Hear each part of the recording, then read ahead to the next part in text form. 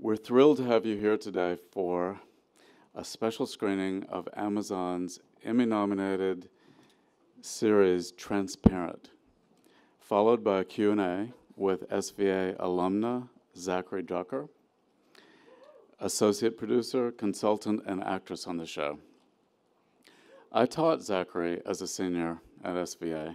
She was a brilliant, prolific uh, photographer I followed her as she pursued her MFA at CalArts. When I was LA, in LA after that, she took me to a downtown trendy nightclub in LA called Shits and Giggles. She was the door person. Not long after that, I was in LA and I saw her video work presented as part of the uh, Hammer Museum Made in LA Biennial. And then right after that, I saw her video work in the PS1 Greater New York show. And then she and Rhys Ernst presented photographs from their five year um, archive of photographing each other during a relationship um, at the Whitney Biennial, the last Whitney Biennial. And that work has since been presented in Europe and Canada it's quite a trajectory since 2005, and we're very proud of her. Today we'll be screening the first two episodes of season one of Transparent, as well as a special behind the scenes look at the show, and an episode of the accompanying series, This Is Me, directed by Rhys Ernst, which was also nominated for an Emmy this year. But first, I'd like to welcome Duana Butler, of New York Women in Film and Television, one of our partners for this year's festival, who will introduce today's short films and filmmakers. So please welcome Duana.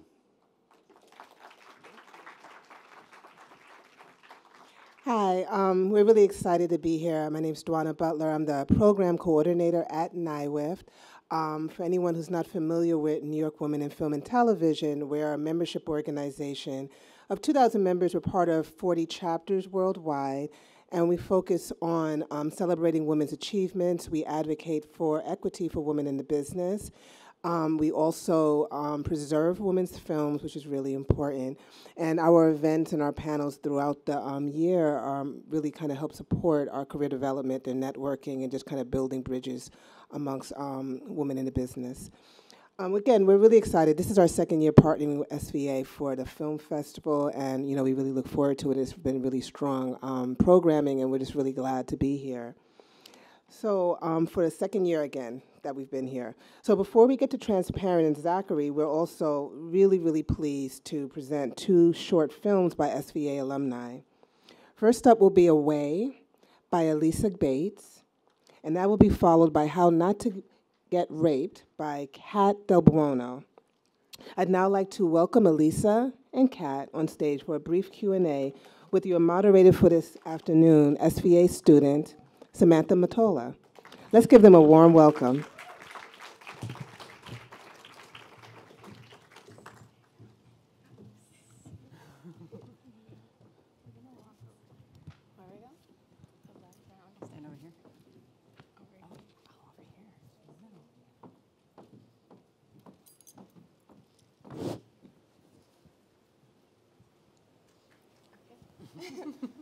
Standing? I'll stand so I can see you guys. Um, so first, I want to thank you both for being here. Um, we are so honored to have you. Um, okay, so I'm going to start off with a few questions. Um, for Cat first, um, on your video, How Not to Get Raped, how did you decide to create this video? Well, it started from seeing um, a list of like how-to advice for women that colleges were putting out that were absolutely ridiculous. I mean, one of which was like urinate yourself or vomit to keep the rapist away. They were serious.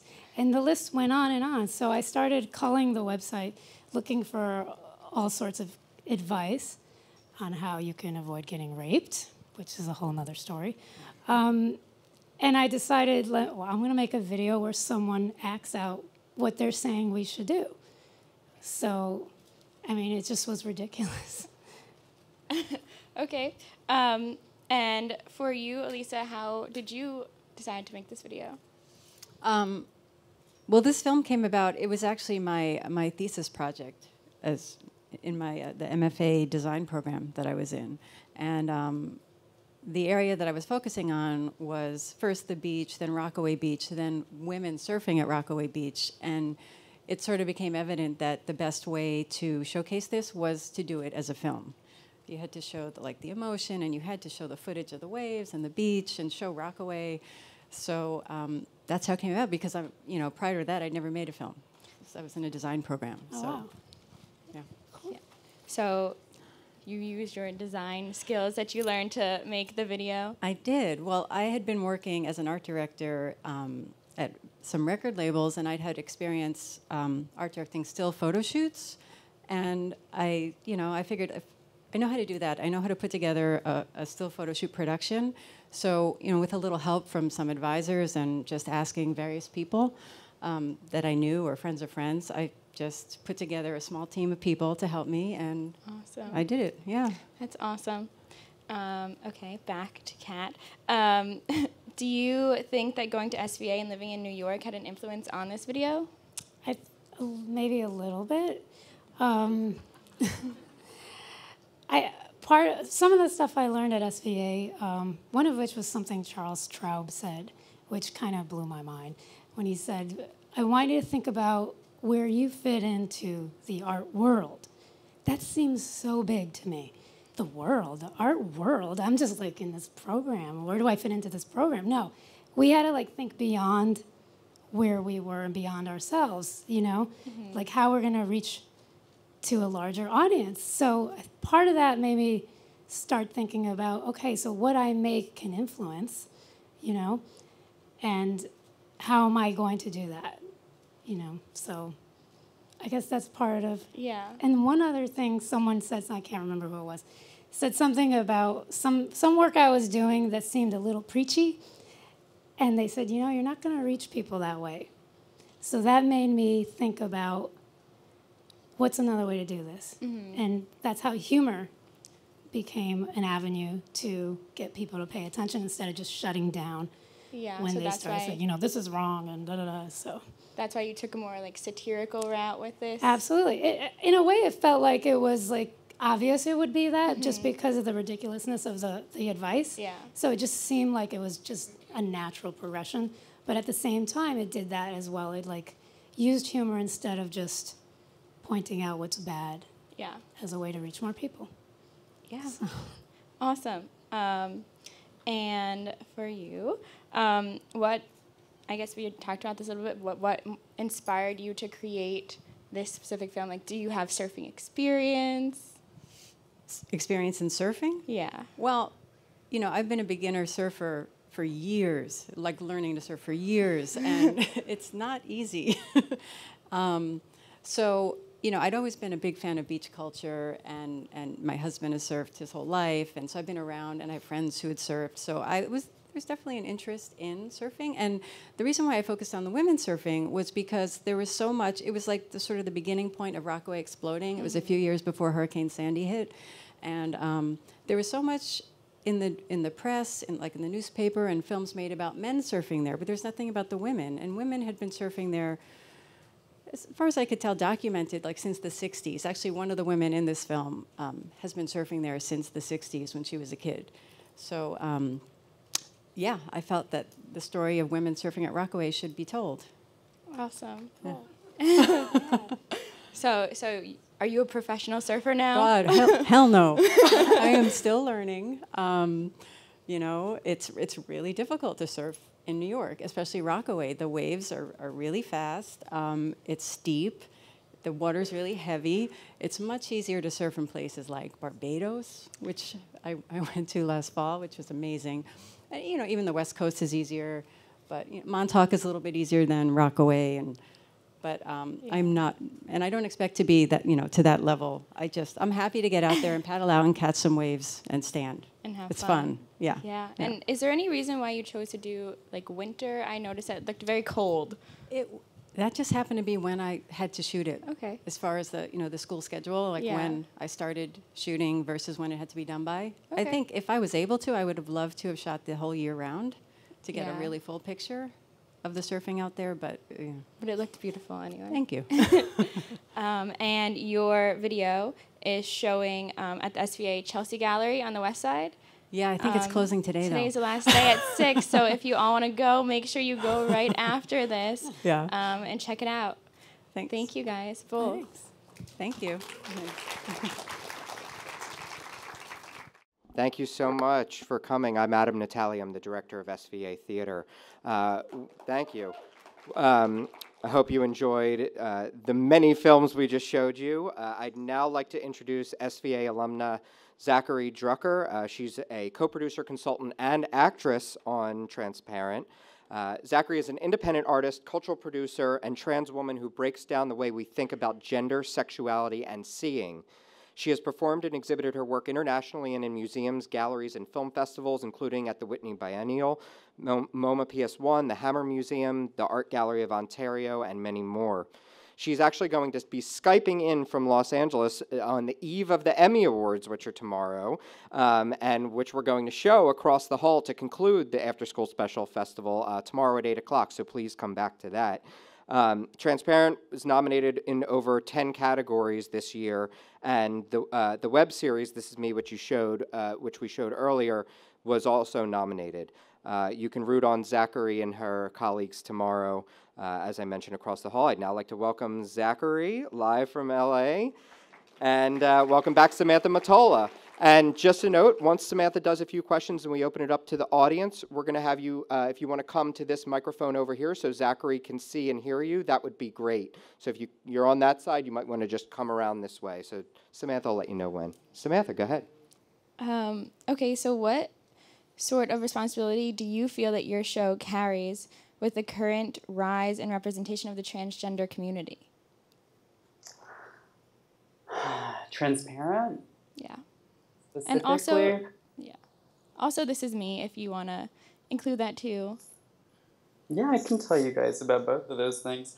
Um, I started working on Transparent two years ago when Jill Soloway was developing the pilot. Uh, when she was writing it, my collaborator Rhys Ernst and I were among the first people on the project. Um, and I think that it's sort of a testament to Jill's feminist uh, filmmaking model and method of inclusion. Um, trans people throughout the history of film and television have been relegated to the roles of psychopaths, serial killers, um, victims on CSI, sex workers. Uh, if you can even call that representation, right? That's sort of where we're coming from. Um, we've been comic relief, been butts of jokes. You know, it's a long history of uh, male actors and comedians cross-dressing in cinema and television. Um, so that's kind of where we're coming from, like the the dark, the dark ages, let's say. Um, I think of transparent as the beginning, like as as zero, as the, the beginning of a more positive politic of representation for trans people. It's the first time we've seen a, trans character rendered in, in full complexity. Uh, it's the first time we've seen a trans character situated in a family and in a family narrative. Uh, you know, trans people otherwise have always been represented as sort of satellites um, out there on their own.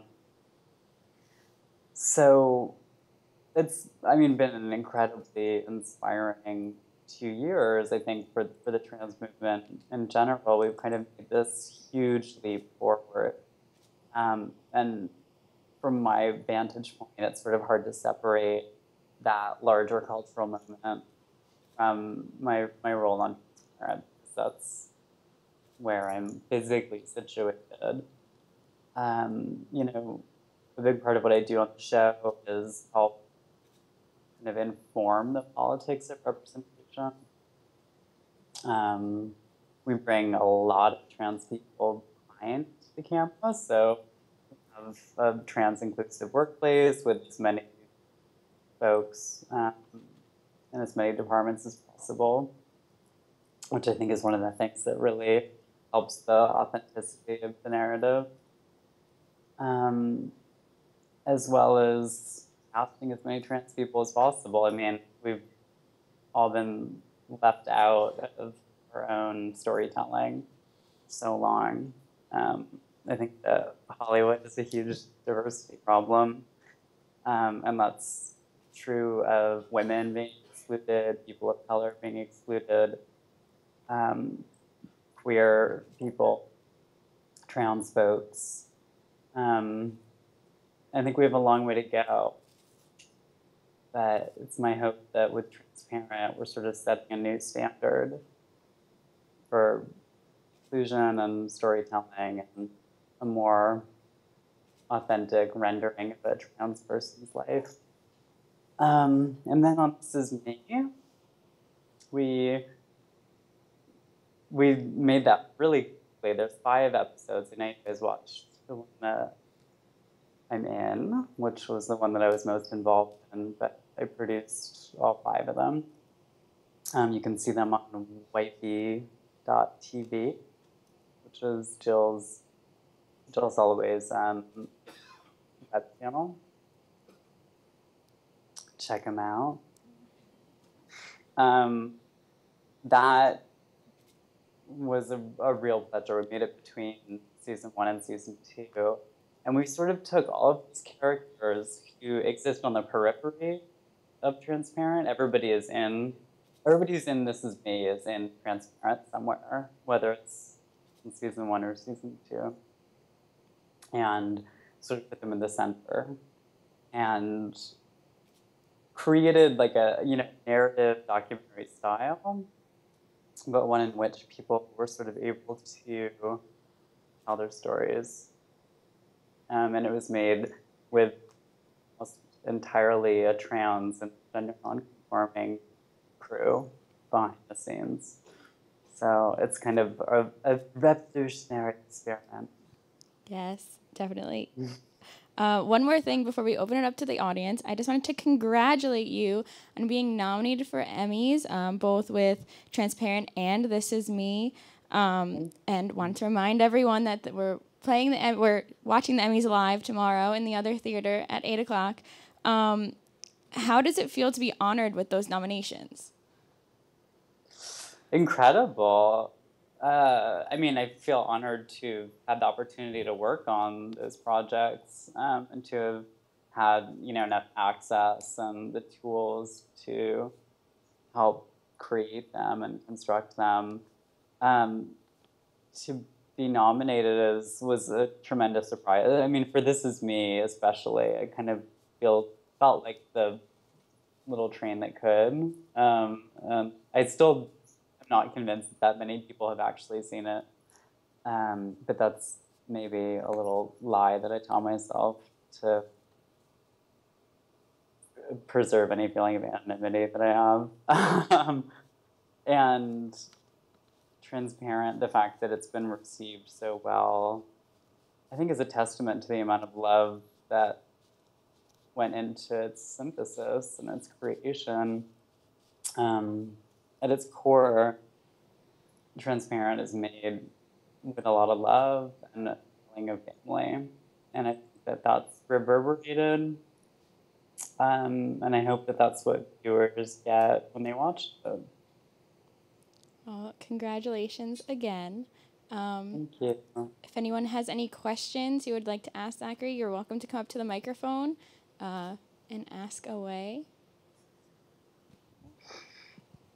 Or just comments, Or, or just come. Revelation, realizations. Hi. Hi, what's How's your name? My name is Jake. Um, I'm a third year animation student here at SVA. Um, and I've also. I wish I could be there with you guys. this is like really, very, very- sincerely, I wish that I could be there. You're so doing bummed fun out things I'm in not LA. It's cool. Um, while being here, I've also held the position as uh, co-president of Queer SVA, which is the um, LGBTQA uh, campus group. Um, Cool. That didn't exist 10 years ago. Yeah, isn't that awesome? we do fun things. Um, but one of the challenges we face in the uh, student group is that trying to include every letter on the LGBTQIA spectrum. Um, and I know that Transparent, which I'm a huge fan of the series, and it's so cool to be here with you. Um, part of what Transparent does is it really includes every aspect of queer culture that is just not represented. Um, and I was curious if you have any advice for, as the student organization, what we can do to make it completely inclusive and fun for educational and everything for everyone. Hmm. That's a great question. I think that there, you know, the thing that I was kind of trying to address with this is me and my sisters is a feeling of community and a network. And I think that it's the only antidote to a world that doesn't really have a viable place for us. Um, and, you know, I think that we have to carve out that place and we have to do it through solidarity with each other. Um, so I think that just by having a student group and by initiating conversations um, to understand each other better and to expand our culture's notions of difference. I mean, that's what art making is, right? I mean, uh, at, at its best, we have power to change hearts and minds. And I think that happens in all areas of culture. Um, the thing that's been so cool about my humble beginnings at SVA is in the photography department um, is that it prepared me with these tools to sort of take on a larger industry. Um, and I think that Hollywood, Hollywood in particular, you know, influences eventually legislation. Like once it's influenced the masses, right? Legislation is kind of like oftentimes follows entertainment and culture. Um, so it's my hope that by working on these projects, um, that we'll eventually have a safer place for LGBTQI, the alphabet soup, the queer community, um, with more legal protections, with uh, access to housing, employment, uh, with you know legitimate protections ag- against violence and hate crimes. Um, I hope that with more visibility, it becomes less stigma. Um, I think it's just our responsibility to continue living and to do what it takes to survive. And um, one day you'll be changing the world too, Jake, if you're not already. Yes, thank you so much. You're such an inspiration. Hopefully, we'll be seeing you in Hollywood soon. Oh, thank you. You're so sweet.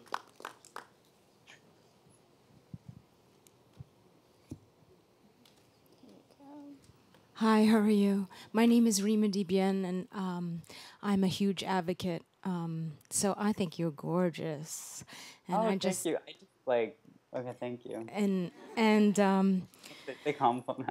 um, and uh, to be honest, um, I I um, I have like the the opposite of Jill Soloway. So when my mother came out, I was like uh, 14, and there's a woman in the audience who took me in. and um, it was a hard it was a hard road, and it's hard to tell your story. So Mhm. everybody has different um, ways of trying to tell their story as dynamically and clearly as you have. So I applaud you for that. Um, so um, I guess my question is how can I take my theater piece, because I'm a theater major, I went to Carnegie Mellon, and um, how can I take my theater piece and break down all the categories so that they no longer exist. That's my dream. That's my vision. Um, so that's, I mean, it's a huge road of not. Um, I have a little part in the piece, and everybody thought I was transgender, and I was so fucking proud. I was like, yeah, I support. So, do I take my part, cut it out, and put a transgender uh, actor in there? Do I, how do I create more inclusive, embracing, supportive, um, proactive, imaginative, um, I guess, create more to my piece, which is going to be in the village. So, I mean, it's just a, a little road, um, but it's going to be, Yeah. yeah. How do I do that so that people see that, you know, my passion? You could see Jill Sol- Solway's passion. You can see it on the screen. You can see how it's shot. You can see it how she casts. You could see how um, the storyline, brilliant writing. I mean, all of that is everybody's dream. Yeah, absolutely. I mean, I think that we can only do so much. I mean, we can only do we can only affect like the we can only use the tools that we have and we can affect the immediate community. And like I think my style of art making has always been to speak to my enabling community. And what I mean by that is the people who are directly around me who inspire me. And I think that the more specific you can be with your message and your story, the more universal it is. Yeah. Which is really antithetical to the whole like old way of entertainment and culture, which was about diluting things and reducing it to the lowest common denominator.